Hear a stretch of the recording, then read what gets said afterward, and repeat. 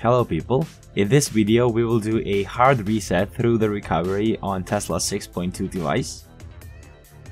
First, let's turn it off. And then, using a combination of buttons, we'll access the factory recovery menu.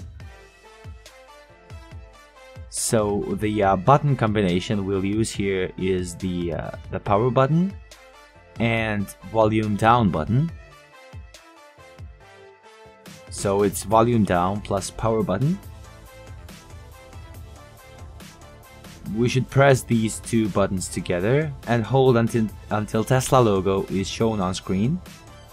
Once the Tesla logo is on the screen, just release the buttons like this. An unfortunate thing here is that the recovery is in Chinese and there are no options to switch it to any other language, either English, Serbian, or any other. So we will have to work our way through with uh, with Chinese. You can move through the menu using the uh, volume up and down buttons. And to confirm the selection, you can use the power button again.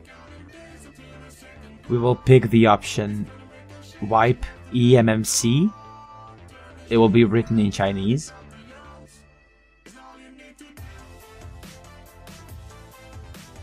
After that, the device has wiped the internal storage and a fresh setup is required after the uh, reboot of the device.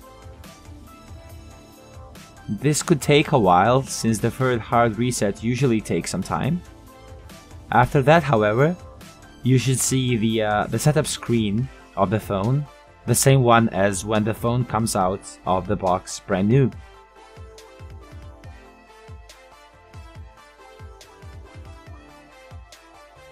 Here it is, the setup screen, and that's it.